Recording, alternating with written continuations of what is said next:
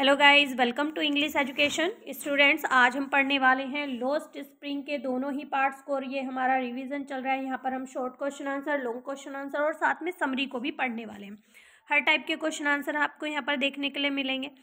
तो सबसे पहले हम इंट्रोडक्शन की बात करते हैं। ये जो हमारी स्टोरी है the story Lost Spring written by Anees Jung तो एनीस जंग के द्वारा इसको लिखा गया है। Jung revolve around the pitiable condition of poor children तो देखिए, जो गरीब बच्चे हैं उनकी जो दयनीय दशा है, उसे लेकर ये स्टोरी लिखती हैं वो। Who force to live in a slum जो एक स्लम एरिया में, यानी कि गंदे क्षेत्र में रहने के लिए मजबूर होते हैं and work hard in very dirty condition और बहुत ही कंडीशन में, गंदी कंडीशन में वो काम करते हैं। The story is divided in two parts और जो कहानी है वो हमारी दो पार्ट्स में डिवाइड है, ये सभी जानते हैं।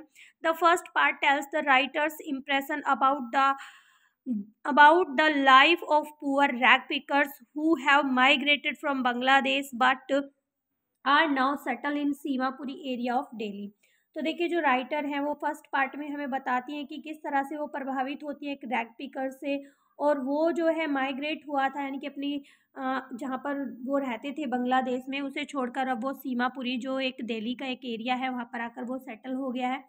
The second part narrates the life of the bangle maker in the town of Firozabad. और जो हमारी सेकेंड स्टोरी है ना,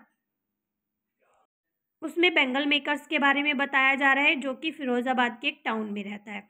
The story tells about the miserable life of the two children whose spring यानी कि चाइल्डहुड स्प्रिंग यहाँ पर childhood को कहा गया है is lost in misery and poverty तो देखिए, ये जो दोनों ही स्टोरी हैं, ये हमें मिजरेबल लाइफ के बारे में बताती हैं दोनों बच्चों के।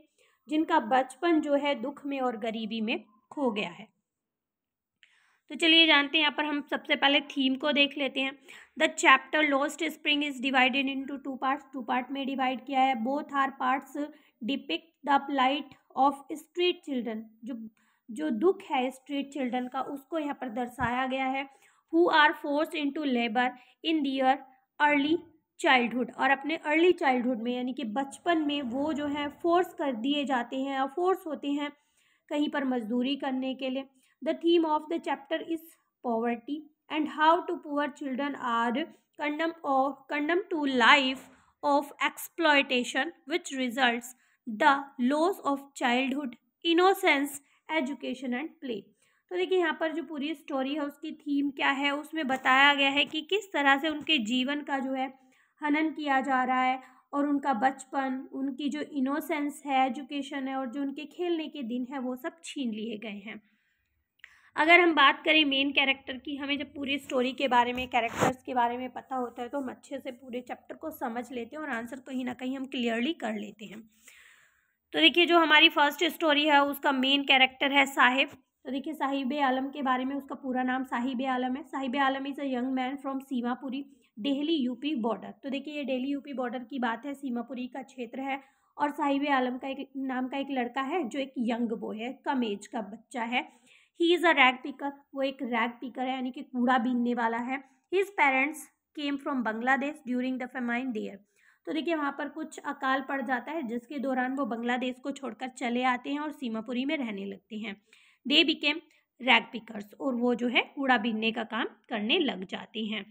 Sahib and many other children, like him in Simapuri, help their parents earn for a living. तो देखिए, यहाँ पर बताया गया है कि साहिब और उसी के जैसे दूसरे जो बच्चे हैं, वो सीमापुरी में रहते हैं और अपने पेरेंट्स की वो जो है अर्निंग करने में मदद करते हैं। These children do not wear chappals. वो जो बच्चे हैं, वो चप्पल नहीं पहनते हैं, जूते नहीं पहनते हैं। Their parent do not do not encourage them to buy hygiene तो देखिए हाइजीन के बारे में भी उनके जो पेरेंट्स हैं, उन्हें एनकरेज नहीं करते हैं, वो उनके बारे में मतलब साफ़ सफ़ाई के बारे में वो उन्हें नहीं बताते हैं।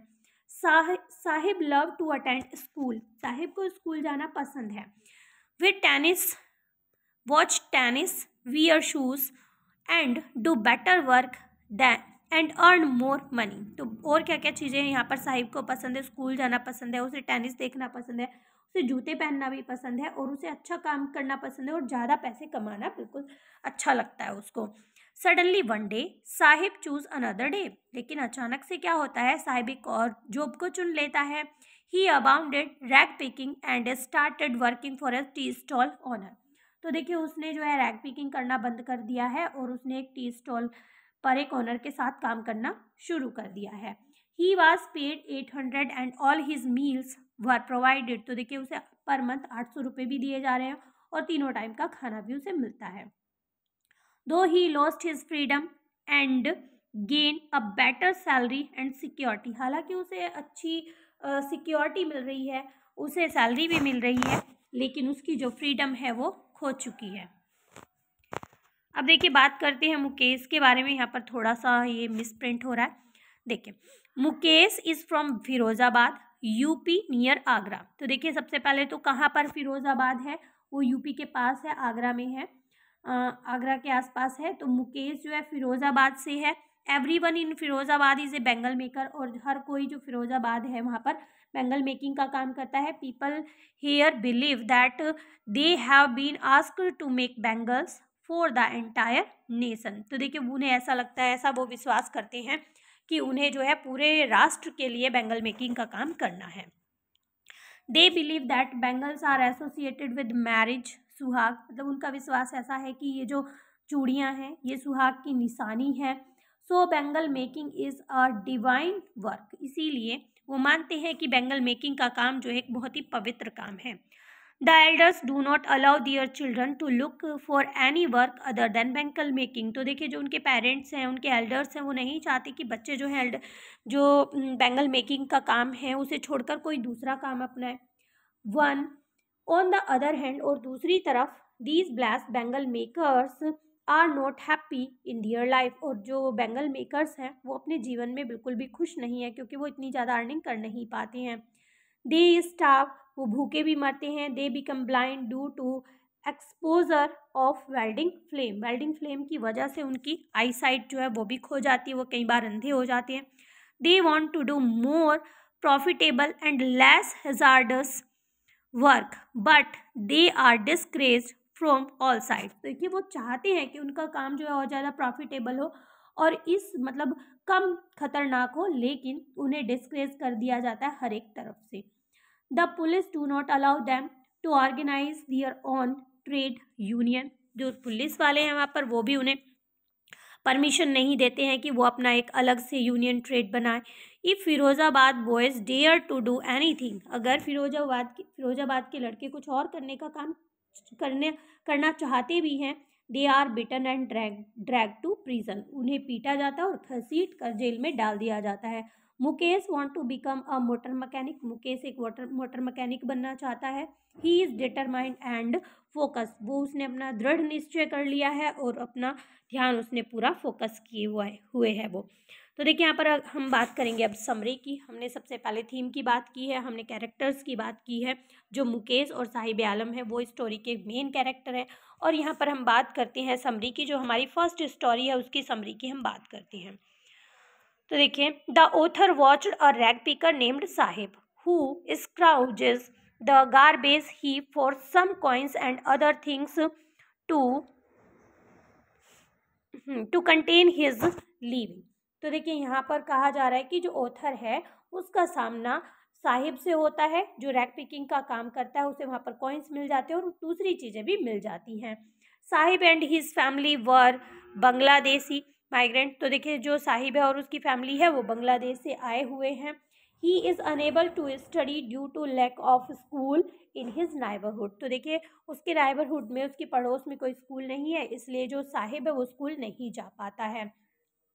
I here were a number of rag pickers like Sahib and all of them were barefoot तो देखिए, यहाँ पर जो नरेटर है, वो बताती है कि साहिब की तरह मैंने और दूसरे बच्चों को भी देखा जो सभी नंगे पैर रहते हैं।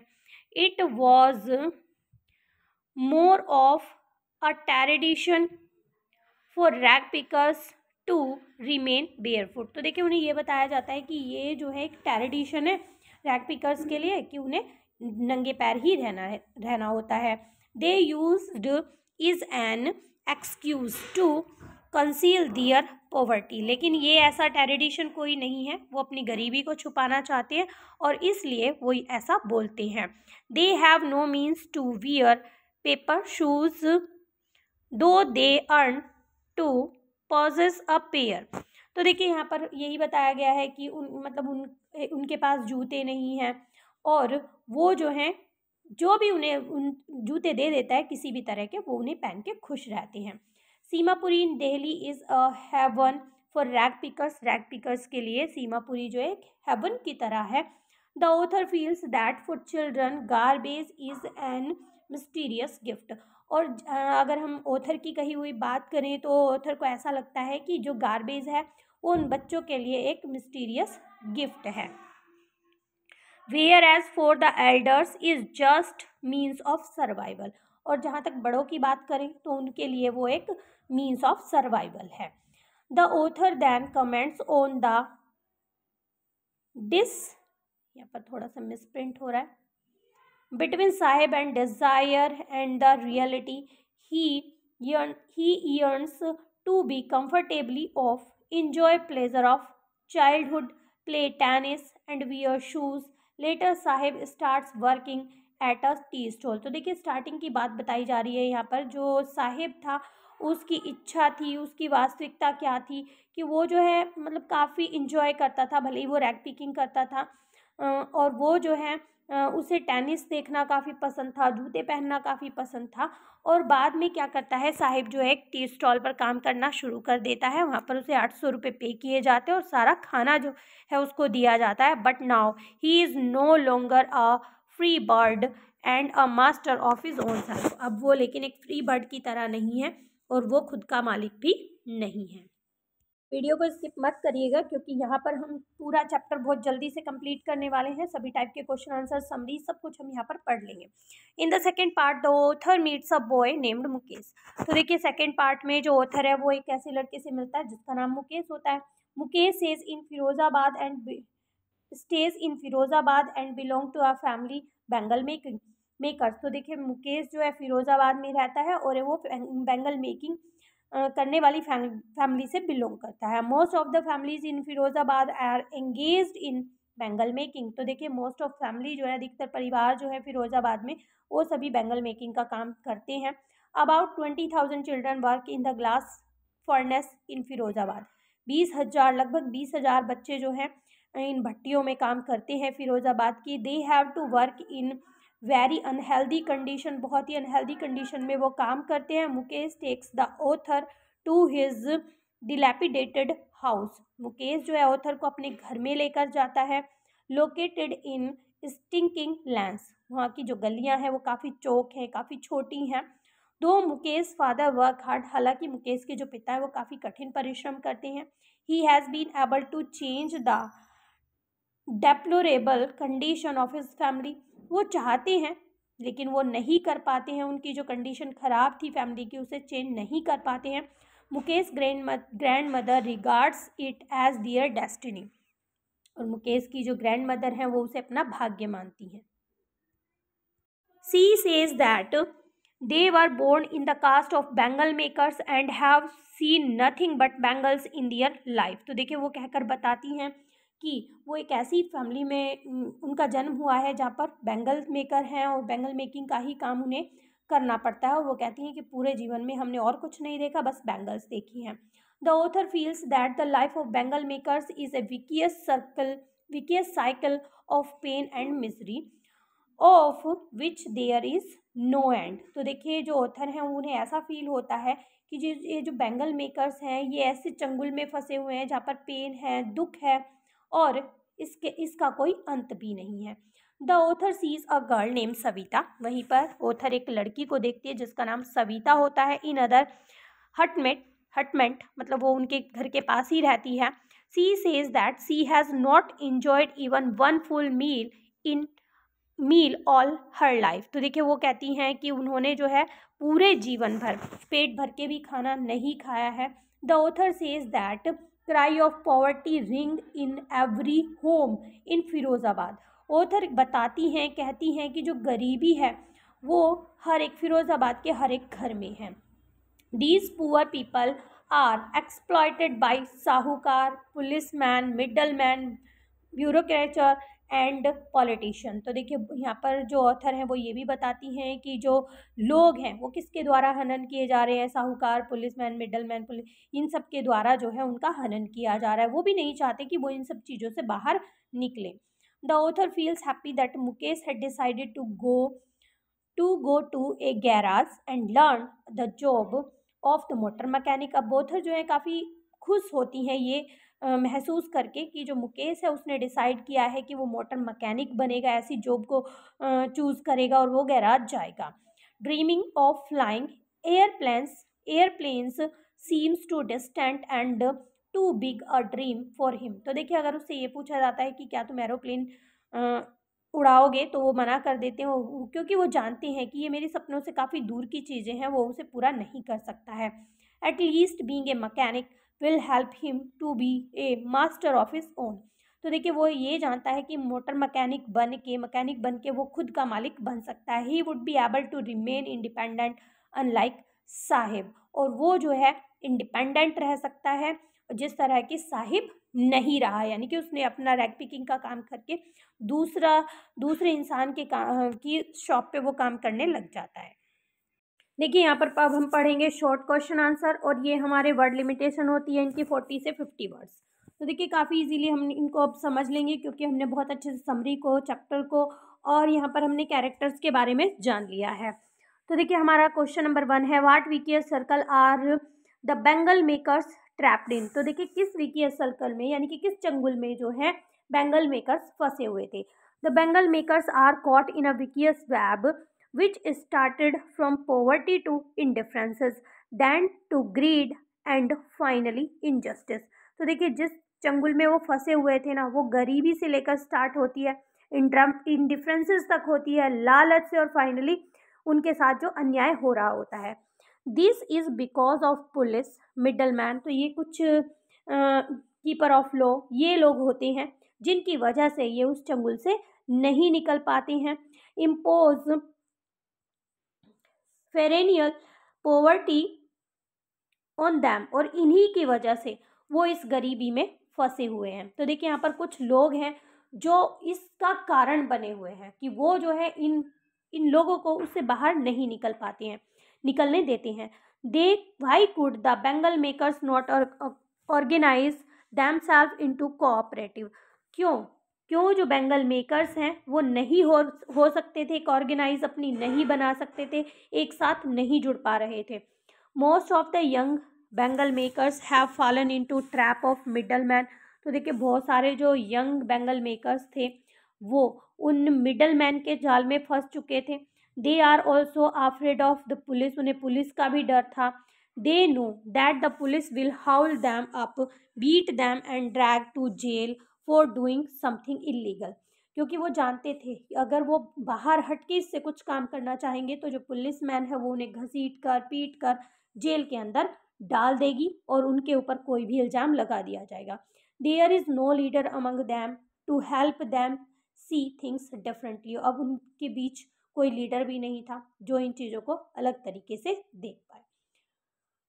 नेक्स्ट क्वेश्चन है हमारा what does the writer mean when she says Sahib is no longer his own master तो यहाँ पर राइटर का क्या मतलब होता है? इस सेंटेंस को कहने से Sahib is no longer his own master वो अब खुद का मालिक नहीं रहा। इससे क्या मतलब था उथर का?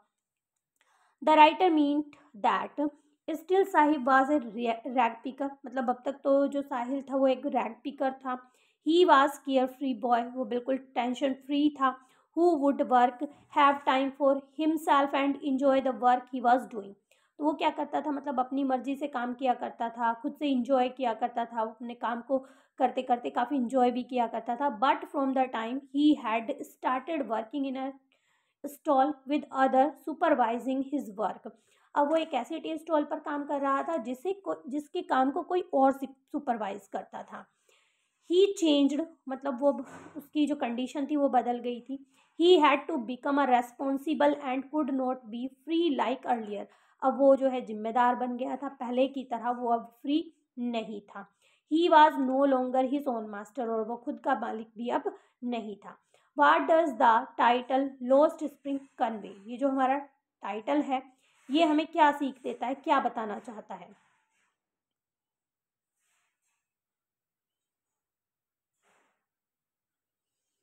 देखते हैं। Lost Spring is associated with childhood तो देखिए, जो हमारा वर्ड है स्प्रिंग ये क्या मतलब रिप्रेजेंट करता है? चाइल्डहुड को रिप्रेजेंट करता है।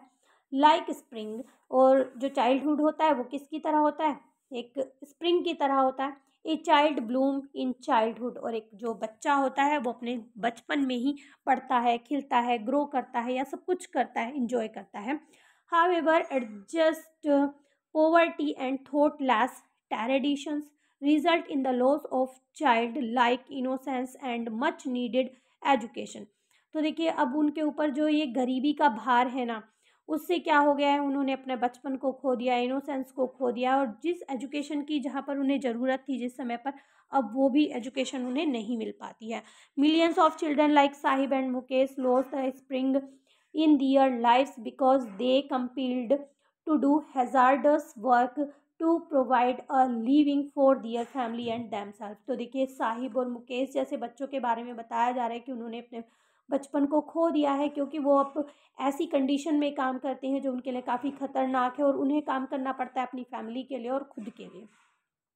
Thus the title bring out the abject life of the child labourer and their deprivation of the blessing of childhood तो देखिए, इस इस तरह से ये जो हमारा टाइटल है the childhood the lost child ये बिल्कुल सही है, क्योंकि जो बच्चे हैं वो एक लेबरर की तरह काम कर रहे हैं और उनके बचपन को कहीं ना कहीं छीन लिया गया है।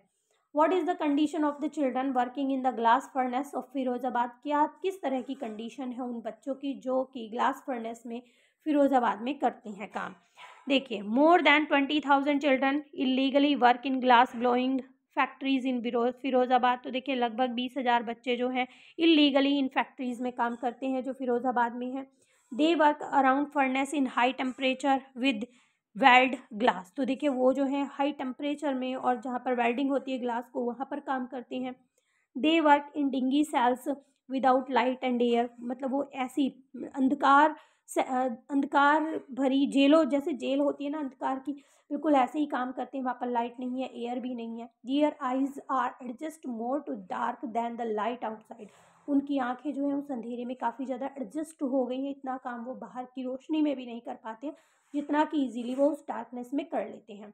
They work all day alone तो वो पूरा दिन भर काम करते हैं। Many of them loss their eyesight before they become adult तो देखिए, कुछ बच्चे उनमें से ऐसे भी हैं कि बड़े होने से पहले ही उन्होंने अपनी आँखों को खो दिया है। नेक्स्ट क्वेश्चन है why don't the younger ones of the bangle makers do anything else क्यों? जो वो बेंगल मेकर्स हैं यंग बेंगल मेकर्स हैं वो दूसरा काम नहीं कोई भी दूसरा काम नहीं करती हैं। The years mind numbing and hard toil killing the desire of making new attempts of, to improve their condition and the ability to dream. तो देखिए जो माइंड नंबिंग यानी कि दिमाग को थका देने वाला जो काम है दिन भर जो हार्ड वर्क वो करती हैं, उनसे उनकी जो दूसरी डिज़ायर्स हैं कि वो दूसरी चीज़ों को कर सकें, अपनी कंडीशन को चेंज कर सकें, अपने सपनों को पूरा कर सकें, वो सारी चीज़ें जो हैं ख़त्म हो जाती हैं, वो मर जाती हैं। In Firozabad doing any other work needs rebellion तो देखिए और फिरोज़ाबाद जैसी सिटी में दूसरा कोई काम करना क्या है? विद्रोह की तरह है strong will and the determination of the bangle makers do to do strong will and the determination of bangle maker do to do something that goes along with the family tradition because of lack of awareness education and opportunities तो देखिए यहाँ पर बताया गया है कि जो उनकी स्ट्रॉन्ग विल है डिटर्मिनेशन है बेंगल मेकर्स की, या कुछ भी करने की, अपनी फैमिली से अलग जाकर कुछ करने की, उनकी फैमिली कहती है, हमारा ट्रेडिशन है। और उनके अंदर कमी है, क्योंकि वो जागरूक नहीं है, एजुकेटेड नहीं है और उन्हें मौका भी नहीं मिल पाता है कि जिससे कि वो इस काम से हटकर कोई दूसरा काम कर सकें। नेक्स्ट हमारा क्वेश्चन है why did garbage means to children of Seemapuri and their parents तो देखिए, यहाँ पर पूछा गया है, जो गार्बेज है सीमापुरी में, जो गार्बेज है या रेड पिकिंग काम है, वो चिल्ड्रन के लिए क्या मायने रखता है और उन पेरेंट्स उनके पेरेंट्स के लिए वो क्या मायने रखता है? तो देखिए for elders in Seemapuri since they are rag picking garbage is a mean of survival तो देखिए पेरेंट्स के लिए तो उनका मतलब रैक पिकिंग का मतलब क्या है? मीन्स ऑफ़ सर्वाइवल है कि उन्हें अपनी जीविका कमानी है। However the children of Seemapuri garbage wrap in wonder लेकिन जो बच्चे हैं उनके लिए वो एक वंडर है, एक आश्चर्य है, क्योंकि वहाँ पर उन्हें कभी कुछ चीज़ें मिलती थी, कभी कुछ। तो इससे वो काफ़ी आश्चर्यचकित भी होते थे और जो है उन्हें काफ़ी इंटरेस्ट भी आता था उन चीज़ों को खोजने में। Sometime they expect to find a coin कभी कभी उन्हें एक सिक्का भी मिल जाता था and raises their hope to finding more और इससे उनकी जो आशा थी वो और ज़्यादा जागृत होती थी कि उन्हें हो सकता है कुछ और सिक्के भी मिल जाए। It it is his karam and destiny what is Mukesh family attitude toward their situation तो देखिए ये जो वर्ड कहा गया है, उन्होंने कहा, ये हमारा कर्म है, हमारा भाग्य है। तो मुकेश की फैमिली का क्या रवैया था क्या सोचना था इस सिचुएशन को लेकर ठीक है? तो देखिए Mukesh grandmother regard it as their destiny तो देखिए मुकेश की जो ग्रैंड मदर थी वो उसे अपना भाग्य मानती थी। She says that they were born in the caste of bangle makers वो ऐस, वो ऐसा सोचती थी कि उनका जन्म ही ऐसी जाति में हुआ जहाँ पर बेंगल मेकिंग का काम होता है।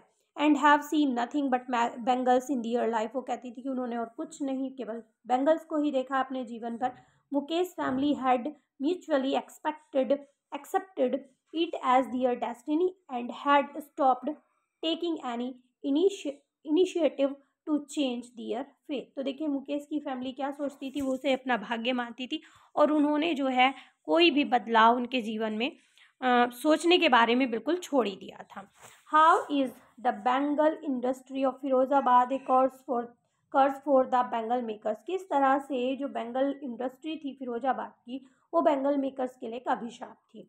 तो देखिए man have to work in a dingy cell without air and light तो जो आदमी थे, वो बिना बिना प्रकाश वाली जगह पर, बिना हवा वाली जगह पर काम किया करते थे. As result they loss the brightness of their eyes उसका क्या रिज़ल्ट हुआ कि उन्होंने अपनी आँखों की रोशनी खो दी थी and go blind with the dust from polishing the glass bangles तो देखिए उन, उनकी उनकी जो आँखें वो अंधे हो गए थे क्योंकि वो पॉलिशिंग करते थे ग्लास बेंगल्स को उसकी वजह से।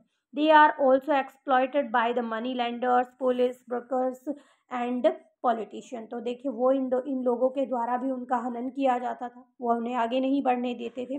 They live in a state of in intense poverty and have to to go with food for day तो देखिए ऐसी कंडीशन में उनकी जो गरीबी थी, वो मतलब गरीबी ही बनी हुई थी, वो आगे नहीं बढ़ पा रहे थे और कई बार तो उन्हें कई दिनों तक खाना भी नहीं मिलता था।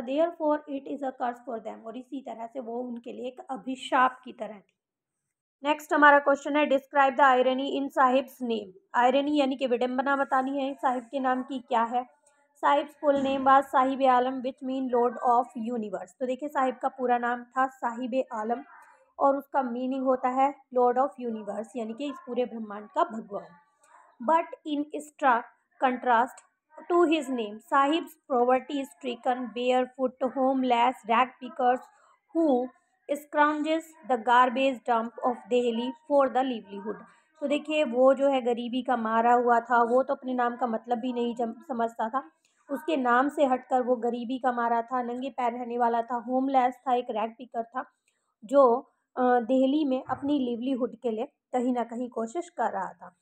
His name is in total contrast his his very existence and is thus ironical तो देखिए इस तरह से वो एक आयरोनिकल था, उसका जो नाम था, क्योंकि वो तो इसका मतलब भी नहीं समझता था कि उसके नाम का मतलब क्या है। What does the reference to the chappal in the Lost Spring us about the economic condition of the rag pickers तो देखिए, ये जो यहाँ पर चप्पल वर्ड हुआ, उसका क्या रेफरेंस था, उसे संदर्भित करना है। लोस्ट स्प्रिंग में और हमें बताना है कि किस तरह से जो इकोनॉमिक कंडीशन थी, वो रैग पिकर्स की, वो क्या थी? The rag pickers were extremely poor जो रैग पिकर्स थे, वो बहुत ज़्यादा गरीब थे। They did not have any money to buy chappals उनके पास पैसे नहीं होते थे कि वो चप्पल को खरीद सके। They we they were poor and improvised वो बहुत ज़्यादा गरीब थे। They have they lived in hand to mouth existence उनका क्या था कि उन्होंने कमाया और खाया, ये उनका था। They were exploited and had no matter work to do तो देखिए, वो जो है, उनका कहीं ना कहीं हनन भी किया जा रहा था, जैसे कि हमने चैप्टर में पढ़ा कि उनके राशन कार्ड्स बना दिए गए थे, वो भी अपने फ़ायदे के लिए, ठीक है? और वो जो, उनके पास और कोई काम करने के लिए भी नहीं था। They did not have a house to live in to उनके पास घर नहीं था जिसके अंदर वो रह सके। Listening them to see two distinct world in the contrast of Mukesh तो देखिए यहाँ पर मुकेश की बात की जा रही है, उसके संदर्भ में बात की जा रही है कि वो जो जो राइटर हैं वो सुनती है दो अलग अलग संसार के बारे में। द बेंगल मेकर सन यहाँ पर जो मुकेश है वो एक बेंगल मेकर सन है, उसके संदर्भ में हमें ये बताना है which two world is Anees Jung refer to तो देखिए कौन से दो अलग अलग वर्ल्ड के बारे में एनीज जंग यहाँ पर बात करती है। The author Anees Jung very distinctly see the world see the two world of the bangle makers and the maker of society तो देखिए यहाँ पर वो मेकर ऑफ़ सोसाइटी को देखती हैं और बेंगल मेकर्स को देखती हैं। एक तरफ़ तो जो गरीबी के मारे हुए लोग थे और वो जो है, जो कास्ट की स्टिग्मा थी, उससे कहीं ना कहीं बंधे हुए थे। और वो अनपढ़ थे और वो जो है, बढ़ नहीं पा रहे थे, आगे निकल नहीं पा रहे थे। और जब जो दूसरी साइड है, जो दूसरा वर्ल्ड है, उसके बारे में वो बताती है कि इसमें साहूकार मिडल मैन पुलिस मैन ये सब लोग थे। और who ensured that these poor people continue to entangled in a vicious circle of poverty जो खुद ही डिसाइड कर रहे थे कि वो लोग जो हैं इस गरीबी के अंदर ही फंसे रहेंगे। Both these world are stark contrast to each other और दोनों ही संसार एक दूसरे से बिल्कुल विपरीत यहाँ पर दिखाई देते हैं। मतलब एक तरफ़ तो जो गरीब लोग हैं वो गरीबी में फंसे हुए हैं और दूसरी तरफ़ वो जो दूसरे लोग हैं, अमीर लोग हैं, वो उनके फ्यूचर को डिसाइड कर रहे थे। Why did Saheb's parents leave Dhaka and migrate to India क्यों साहिब के पेरेंट्स ने ढाका छोड़ दिया और वो इंडिया में आकर बस गए? Saheb's parents belong to Dhaka in Bangladesh Saheb के जो पेरेंट्स थे, वो ढाका बांग्लादेश के रहने वाले थे। Where they lived midst green fields जहाँ पर वो ग्रीन फील्ड्स में रहते थे। वहाँ पर जो हरे खेत थे, उनके बीच में ही रहते थे। They and other rag pickers left their home many years ago and migrated to India in search of livelihood तो देखिए वो जो रैग पिकर्स थे वो और कुछ लोग और थे उनके साथ जो रैग पिकिंग का काम करते थे वो इंडिया में आकर बस गए थे अपनी जीविका कमाने के लिए। As their home and fields were destroyed in storm क्योंकि उनके जो घर थे वो तबाह हो गए थे, उनके खेत जो है वो तबाह हो गए थे तूफ़ान में। This force them to come India और इसी की वजह से वो भारत आने के लिए बाधित हुए थे। Where they settled in a slum of Seemapuri जहाँ पर वो सीमापुरी सीमापुरी के स्लम्स में, यानी कि झुग्गी झोपड़ी में आकर बस गए थे। What job did Saheb take up was he happy तो देखिए किस तरह की जॉब जो है साहेब अब कर रहा था और क्या वो खुश था। Saheb took up a job at the tea stall tea stall पर वो जॉब कर रहा था where he had perform several odd jobs जहाँ पर वो उसे और भी दूसरे काम करने होते हैं including getting milk from the milk booth, जैसे कि उसे मिल्क बूथ से मिल्क लेकर आना होता था। ही वॉज़ नॉट हैप्पी वो वहाँ पर खुश नहीं था। As he had lost ear independence क्योंकि उसने अपनी स्वतंत्रता वहाँ पर खो दी थी। Though he earn eight hundred and got all meal meals free he was no longer his own master हालाँकि वो आठ सौ रुपये कमा रहा था और उसका तीनों टाइम का खाना बिल्कुल फ्री था, फिर भी वो खुद का मालिक अब नहीं था। Whom does Anees Jung blame for the sorry plight of the bangle makers तो देखिए यहाँ पर एनी जंग जो है वो जो बेंगल मेकर्स की ख़राब कंडीशन थी उसके लिए वो किसे ब्लेम करती हैं? Anees Jung blame the middleman policeman law makers इन सबको जो है वो आ, उसके लिए ब्लेम करती हैं। These people conspire and exploit the poor's bangle maker तो उनका उनका सोचना ऐसा था कि यही लोग उनका हनन कर रहे हैं और उन्हें जो है उनके बीच में वो कहीं ना कहीं पॉलिटिक्स कर रहे हैं। They pay them Mars wages do not let them from cooperative and compel their children to join the same trade at an early age. तो देखिए, कहीं ना कहीं वो जो है उन्हें कम वेजेस पर काम करने के लिए बाधित करते थे और वो जो है उन्हें एक साथ एक संस्था बनाने नहीं दे रहे थे और उनके बच्चों को वो जो है चाह रहे थे कि वो इसी काम के अंदर अर्ली एज में लगे रहें। What was Mukesh dream Mukesh का क्या ड्रीम था? In your opinion, did he achieve his dream? क्या आपके ओपिनियन मतलब आपके विचार में उसने अपना ड्रीम अचीव किया? तो देखिए, Mukesh dream was become a motor mechanic एक मोटर मैकेनिक बनने का उसका एम था, उसका ड्रीम था। It is no doubt difficult no doubt difficult for Mukesh to achieve his dream as he is torn between his desire and his family tradition which he can not escape. तो मतलब वो जहाँ तक है, वो अपने मतलब उस टेरिडिशन से, अपनी फैमिली से नहीं बच पाया था। Beside he has face a number of obstacle in the form of sahukar middleman मतलब इन सब लोगों के बीच उसे बहुत सारी बाधाएँ भी देखने के लिए मिल रही थी कि वो अपने सपनों को पूरा करे। However his will to work hard हालाँकि उसकी इच्छा क्या थी कि वो कठिन परिश्रम करेगा and his strong determination could make him achieve his dream और यही जो उसकी डिटर्मिनेशन थी स्ट्रॉन्ग डिटर्मिनेशन थी, उससे वो अपना जो अचीव उसका ड्रीम था, उसे अचीव कर सकता था। नेक्स्ट हमारा क्वेश्चन है in in spite of despair and disease prevailing the life of the slum children they are not devoid of hope how far do they do you agree बताया जा रहा है कि मतलब निराशा के, बीमारियों के बावजूद भी जो स्लम में रहने वाले बच्चे हैं उन्होंने अपनी आशा को नहीं खोया, क्या आप इस चीज़ को लेकर एग्री हैं? In spite of growing up midst despair and disease, children who live in the slum have to desire to achieve something big in life like Mukesh तो देखिए, कहा जा रहा है कि निराशा, गरीबी और बीमारियों के बावजूद भी स्लम में रहने वाले जो बच्चे थे ना, उन, वो कुछ अचीव करना चाहते थे। This shows that they are not devoid of hope इससे पता चलता है कि उनकी आशा भी नहीं खोई थी। Saheb rag picker is eager to go to school. अगर हम साहिब की बात करें तो उसकी इच्छा थी कि वो स्कूल जाए और पढ़े। Mukesh who work in dark dingy cells dream become a motor mechanic और मुकेश की अगर हम बात करें तो वो एक डार्क डिंगी सेल में काम करता था, लेकिन फिर भी वो एक मोटर मैकेनिक बनने का सपना देखता था, जो बहुत ही which is very much against his family tradition उसकी परिवार का जो टेरिडिशन था ऑक्यूपेशन था, उससे हट कर वो सोच रहा था। Was Saheb happy working at the tea tea stall इसे हम ऐसे ही पढ़ लेते हैं। नहीं, साहिब जो है बिल्कुल भी खुश नहीं था टी स्टॉल पर काम करने के लिए, क्योंकि वो, जो केयर फ्री लुक था, वो उसके अंदर नहीं दिखाई दे रहा था। वो वहाँ पर सेटिस्फाइड नहीं था।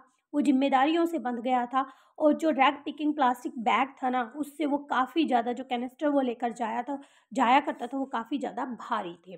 What make Mukesh different from other boys in his age तो देखिए, उसकी उम्र के जितने भी लड़के थे, मुकेश उनसे अलग क्यों था? Mukesh is different from other boys because he dream he dare to dream of doing something else other than bangle making क्योंकि वो जो है पेंगल मेकिंग से हटकर कुछ और सपने भी देख रहा था। He dream to be motor mechanic motor mechanic बनना चाहता था। To drive a car has conviction needed to pursue his goal और वो जो है डिटर्मिनेशन भी थी उसके अंदर कि वो अपने गोल को अचीव कर सके। Why do you think Mukesh is content to dream a car and does not dream to fly a plane तो देखिए, क्या आपको ऐसा ऐसा आपको क्यों लगता है कि जो मुकेश था, वो अपने कार को, मोटर मैकेनिक को, मैकेनिज्म को लेकर ही संतुष्ट था। वो नहीं चाहता था कि वो एक प्लेन को उड़ाए ऐसा क्यों था? Mukesh is content only to dream a car. केवल कार का ही वो सपना देखता था because he is very well aware of the fact that his resource are limited, which would not allow him to fly an aeroplane. क्योंकि वो जानता था, वो इस बात को लेकर काफ़ी अवेयर था कि उसके जो रिसोर्सेज है वो काफ़ी लिमिटेड हैं। और वो जो है एयरपोर्ट जो एयरप्लेन है, उसे अफोर्ड नहीं कर सकता है। Mukesh is truly unlike other children जो मुकेश था, वो वास्तव में दूसरे बच्चों से बिल्कुल अलग था। तो he though he is forced work as child labour in garbage in bangle making industry हालाँकि उसे भी फोर्स किया गया था कि वो बैंगल मेकिंग का काम करें इंडस्ट्री में। He has a dream of becoming a motor mechanic फिर भी उसका एक सपना था कि वो एक मोटर मैकेनिक बने।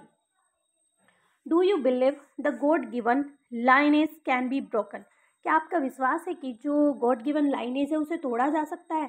Support your position with a with a reason तो देखिए, यहाँ पर हमें अपना एक पॉजिटिव थॉट देना है। Yes I believe that God giving lineage can be broken हाँ जो गॉड गिवन लाइनेज है, उसे तोड़ा जा सकता है। Though Mukesh grandmother did not believe so हालाँकि जो मुकेश की ग्रैंड मदर है, वो इस चीज़ पर विश्वास नहीं करती थी। वो कहती थी कि हमारा जन्म ही इस कास्ट में हुआ है।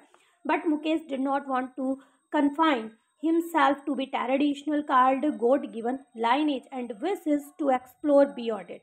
तो देखिए लेकिन जो मुकेश था, वो इस ट्रेडिशन को नहीं मानता था। उसका सपना था कि वो एक मोटर मैकेनिक बने। How do you think the author's life might have been impacted after the after the interactions with the children and their families mention in Lost Spring क्या आप ऐसा आप ऐसा कैसे सोचते हैं कि जो ऑथर है, उसकी लाइफ जो में काफ़ी ज़्यादा प्रभाव उसकी लाइफ जो है काफ़ी ज़्यादा प्रभावित हुई उन बच्चों को मिलकर, उनकी फैमिलीज़ को मिलकर, जो कि लॉस्ट स्प्रिंग में डिस्क्राइब की गई हैं Author's life have been affected a lot after seeing the pitiable condition of poor children who have been forced to miss the joy of childhood due to the socio-economic condition. तो देखिए author की life जो है बहुत ज़्यादा प्रभावित होती है उनकी कंडीशन को देखकर, उन गरीब बच्चों की कंडीशन को देखकर, क्योंकि उन्होंने जो है अपने चाइल्डहुड का जो जॉय था उसे कहीं ना कहीं मिस किया है और किस वजह से? जो सोशो इकोनॉमिक कंडीशन थी उसकी वजह से। Denied the opportunity of schooling force into labour labour early in life तो देखिए, उन्हें स्कूल जाने का मौका नहीं मिल रहा था और उन्होंने जो है अपने जीवन में जल्दी ही काम करना शुरू कर दिया था। Anees is Jung gives voice to ultimate child labour and educating the children तो देखिए एनीस जंग ने जो है आवाज़ उठाई इस चाइल्ड लेबर को लेकर। क्योंकि वो जो है, चाहती थी कि वो बच्चे जो हैं एजुकेटेड हों। गाइज़ अब हम पढ़ने वाले हैं लॉन्ग क्वेश्चंस तो देखिए ऑलमोस्ट हमने अपने चैप्टर को कंप्लीट कर लिया है। यहाँ से कुछ एक्सट्रैक्ट भी आते हैं। अगर आप एक्सट्रैक्ट की वीडियो भी चाहते हैं तो आप कमेंट सेक्शन में बता सकते हैं। चलिए स्टार्ट करते हैं और जानते हैं लॉन्ग क्वेश्चन और देखिए, यहाँ पर हमारे लॉन्ग क्वेश्चन की वर्ड लिमिटेशन होती है one twenty to one fifty words तो हमारा पहला क्वेश्चन है, Mukesh find himself caught between two distinct world Mukesh ने अपने आप को कहाँ पाया? दो अलग अलग संसार के बीच में। How do they affect his life? किस तरह से उनका, उसका जीवन उनकी वजह से प्रभावित हो रहा था? And that of other bangle makers. और किस तरह से वो दूसरे बैंगल मेकर से थोड़ा डिफरेंट था, ठीक है?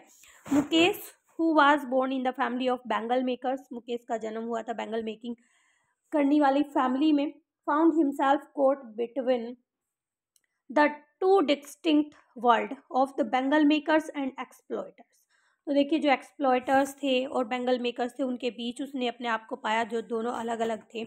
Bangle makers are constantly affected by the stigma of caste and poverty तो देखिए, जो बेंगल मेकर्स थे, वो लगातार प्रभावित हो रहे थे अपनी कास्ट के स्टिग्मा से और गरीबी से। They are forced by the circumstances to work in a dingy cells which numbs their mind and robs them of any initiative तो देखिए, किसी भी शुरुआत को वो नहीं कर पा रहे थे, जो परिस्थितियाँ थी काम करने की, वो ऐसी थी कि वो डिंगी साल में काम करते थे और जो माइंड था ना उनका, वो जैसे कि थक सा जाता था, काम करना बंद कर देता था।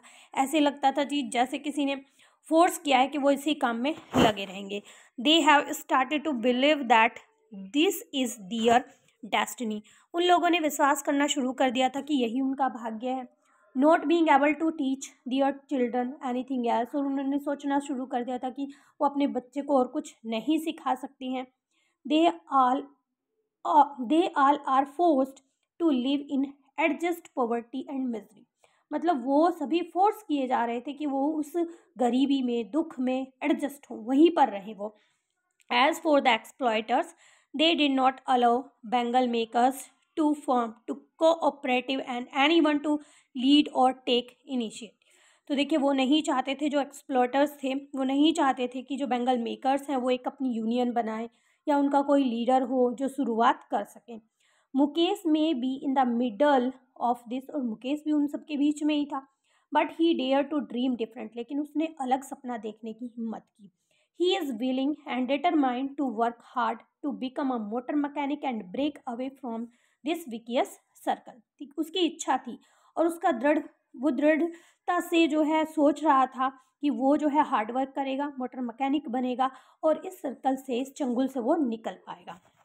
नेक्स्ट हमारा क्वेश्चन है grinding poverty and tradition condemn the children of rag pickers और bangle makers of the to a life of exploitation such children are deprived of all opportunities in life Mukesh who puts out of the existing profession of his forefathers by, res by resolving to start new job for a motor mechanic symbolize the modern youth. What lesson do you learn from the Mukesh example?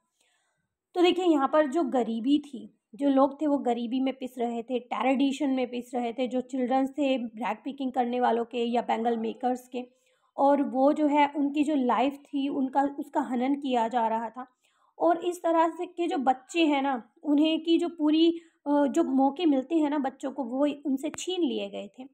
लेकिन यहाँ पर अगर हम मुकेश की बात करें तो वो चाह रहा था कि वो जो उनके फोर फादर का, उनके पूर्वजों का जो प्रोफेशन है, उसे छोड़कर कुछ नया सीखे और मोटर मैकेनिक वो बनना चाहता था।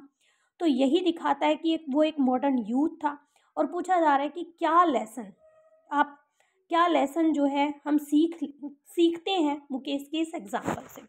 It is not only a grinding poverty but also a tradition that condemn the children of rag pickers और bangle makers to live a life of exploitation तो देखिए, ये केवल मतलब गरीबी ही नहीं थी। उन्होंने अपना टेरिडिशन भी मान लिया था, जिससे कि जो रैक पिकर्स और बेंगल मेकर्स के बच्चे थे ना, उनका हनन हो रहा था। On one side is the family side family trapped in poverty and burden by stigma of the caste they are born in तो देखिए, एक तरफ़ तो वो उसे अपना टेरिडिशन मानते थे, गरीबी के जाल में वो फंस चुके थे। दूसरी तरह वो कास्ट को लेकर बैठे हुए थे कि हमारा जन्म ही ऐसी कास्ट में हुआ था। और दूसरी तरफ़ वो उनके लोगों के बीच में फंसे हुए थे, जो मिडल मैन और साहूकार थे, उनके चंगल में फंस, चंगुल में फंसे हुए थे वो। All of them have created a situation from which there is no way way out मतलब उनके उन्हों, उनकी कंडीशन ऐसी बना दी गई थी उनके आसपास, जो स्थिति थी वो ऐसी बना दी गई थी कि उनके पास कोई रास्ता ही नहीं था वहाँ से निकलने का। The the trap do not have the guts to break out of it. तो मतलब जो जाल था ना, उसे तोड़ने का कोई रास्ता ही नहीं था, कोई गट्स ही नहीं कर पा रहा था। Mukesh in fact is like a ray of hope with his dream of becoming a motor mechanic लेकिन वास्तव में जो मुकेश था ना उसमें एक आशा की किरण दिखी और उसने जो है ड्रीम देखा, सपना देखा एक मोटर मैकेनिक बनने का। He wants to opt out of existing profession of his forefather तो देखिए, वो निकलना चाहता था। उसके जो पूर्वजों का प्रोफेशन था, उससे बाहर निकलना चाहता था। He has dissolve to start a new job as a motor mechanic उसने निश्चय कर लिया था कि वो एक मोटर मैकेनिक की जॉब करेगा। The long distance to garage where he will learn the work of motor mechanic does not deter him तो देखिए, उसने निश्चय कर लिया था। हालाँकि जो गैराज था, वो काफ़ी दूर था, लेकिन फिर भी वो उसे सीखेगा, वहाँ पर जाएगा। He is prepare to walk वो पैदल चलने के लिए भी तैयार था बट ही इज़ फ्रिम लेकिन उसका जो विश्वास था ना, वो फ्रिम था, वो दृढ़ था अपनी बात पर। He symbolise the youth of his clan मतलब इससे पता चलता है कि वो एक मॉडर्न यूथ था और वो जो है चेंज करने की चेंज कर सकता था। If this persist the day is not far when a new generation will bring brightness and hope to the dark and dingy homes of this poverty ridden workers तो देखिए यहाँ पर वो कह रहे हैं कि अगर वो ऐसा करता है तो इससे पता चलता है कि जो न्यू जनरेशन होती है ना, वो ब्राइटनेस ला सकती है होप रखती है, वो एक आशा रखती है कि वो उन चीज़ों को बदल सके, जो डिंगी होम्स से उन्हें चेंज कर सके और जो गरीबी है उसको हटा सके। देखिए हमारा नेक्स्ट क्वेश्चन है how is Mukesh more ambitious ambitious in the life than Sahib?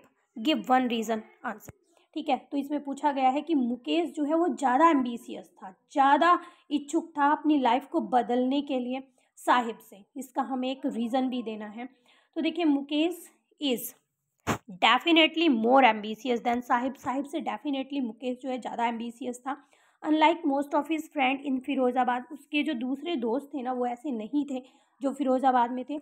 Mukesh did not want to follow the profession of bangle making make making bangles तो देखिए, मुकेश नहीं चाहता था कि वो भी बैंगल मेकिंग का काम करे। No one else could dare to think of breaking the conventional style of living लेकिन और कोई ऐसा नहीं था जो इस स्टाइल को लिविंग स्टाइल को चेंज करना चाहता हो। Mukesh dreamed of became becoming a motor mechanic Mukesh ने सपना देखा कि वो एक मोटर मकैनिक बनेगा। He had already decide to go to a garage and learn about cars उसने निश्चय कर लिया था कि वो गैराज जाएगा और कार के बारे में सीखेगा। Though the garage was a long way from his home हालाँकि जो गैराज था वो काफ़ी दूर था उसके घर से he was prepare to walk that distance और उस डिस्टेंस को वो पैदल चलकर पूरा कर सकता था। He insisted on becoming his own master उसने जिद पकड़ ली थी कि वो जो है खुद का मालिक बनेगा, खुद का काम करेगा। Sahib on the other hand had sacrificed hid freed his freedom as a rag pickers to take up the salaried job that would pay him eight hundred and give him all his meals जबकि साहिब ने जो है समझौता कर लिया था अपनी freedom से। और उस, वो उसने जो है एक जॉब पकड़ ली थी जिस पर उसे सैलरी दी जाती थी एट हंड्रेड रुपीज़ और खाना दिया जाता था। Now he was no longer his own master अब देखिए सिचुएशन बिल्कुल अलग थी। पहले वो खुद का मालिक था, लेकिन अब वो अपना मालिक नहीं रहा था। He had lost his carefree look उसने अपना केयर फ्री लुक खो दिया था which he had when he was a rag picker जब वो एक रैग पिकर था, तब वो केयर फ्री रहता था। लेकिन अब नहीं था। The canister that he carried seem heavier than the bag he carried as a rag picker. जैसे वो एक रैग पिकर था, एक प्लास्टिक बैग लेकर जाया करता था, लेकिन जो कैनिस्टर थे मिल्क के, वो उससे ज़्यादा भारी थे। For this job was not to his liking हालाँकि वो उस जॉब को बिल्कुल भी पसंद नहीं करता था। यहाँ पर देखिए, कुछ और क्वेश्चंस दिए गए हैं, जिन्हें आप खुद से भी पढ़ सकते हैं। बिल्कुल मिलते जुलते क्वेश्चंस हैं। क्योंकि वीडियो आपकी काफ़ी लेंदी हो रही है, वन आवर के आसपास होने वाली है। और अगर आपको ये पीडीएफ चाहिए, ये सभी क्वेश्चंस चाहिए तो ये सभी आपको वीडियो के डिस्क्रिप्शन बॉक्स में मिल जाएँगे, ठीक है? ये पीडीएफ मैं आपकी अपलोड कर दूँगी, यहीं पर आपको इसका लिंक मिल जाएगा। यहाँ से आप ओपन कर सकते हैं, इन क्वेश्चंस को पढ़ सकते हैं। आई होप सभी क्वेश्चंस आपके क्लियर हुए होंगे, चैप्टर आपका क्लियर हुआ होगा। हमने वन वीडियो में इसको कंप्लीट करने की कोशिश की है और यहाँ पर जो क्वेश्चंस आते हैं एक्सट्रैक्ट के अगर आप चाहते हैं तो उन्हें भी आपको क्लियर कर दिया जाएगा। आप कमेंट सेक्शन में लिख सकते हैं। तो मिलते हैं अपने नेक्स्ट टॉपिक में। तब तक के लिए bye bye and take care.